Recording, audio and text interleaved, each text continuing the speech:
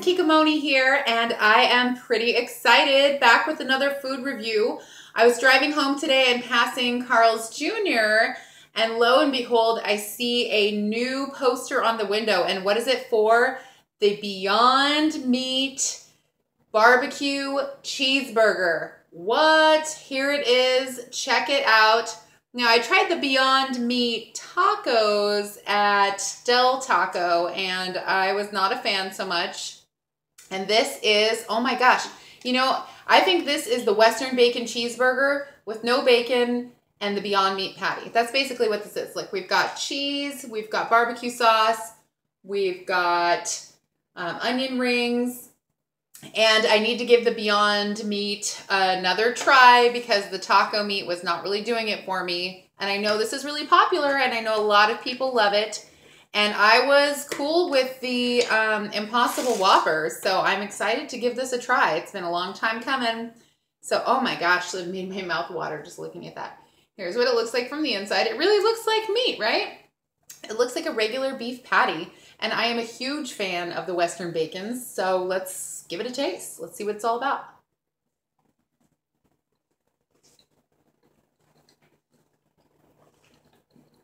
It's good.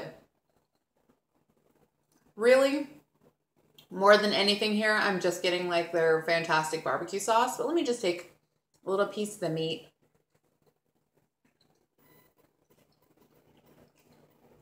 That just tastes like burger. This is great. Um, man,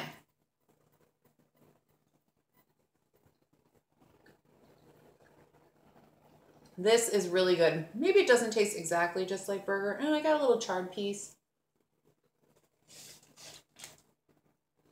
It's good. I mean, it tastes more like a veggie burger patty to me than the Impossible Burger. That just tasted like burger.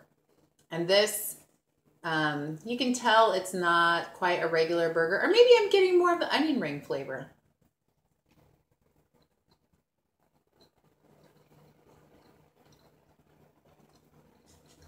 It's got a solid taste to it. And with the barbecue sauce, it's like, who cares?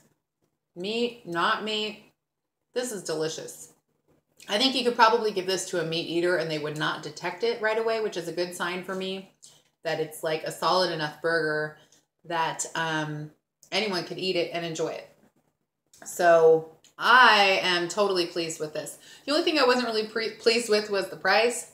Super expensive. I mean, it's like $6.99 plus tax. That's a lot for a burger. Any kind of burger, meat, non-meat. I don't really want to pay that. But I was just so excited. It came out today and I thought, you know what? I've got to get my hands on one of these and I've got to get the review out to my people. So here it is. I like it. And um, if you're a vegetarian and you're on this uh, Beyond Meat kick or you just prefer to choose this over regular beef, get out and try it if you've been really missing the um, Western bacon cheeseburger because here it is, Sans uh, bacon, but um, and Sans meat too. They've got the fake meat right here for you. If they had Beyond Bacon, that would really be the kicker. But maybe to uh, to be seen in the future. We'll see. I'm sure they're on it. So uh, wow, I'm impressed though. It's very good. So um, I'm a fan. Anyway, if you uh, if you like the video, please give me a thumbs up. If you're not already a subscriber, please subscribe. And uh, man, I just can't get over it. I'm kind of blown away by this. It's good. It's better than I thought. So here you go. I'm a fan, and uh, I will be trying this again. And I want to try some of the other ones too. I know there's a few different variations out there.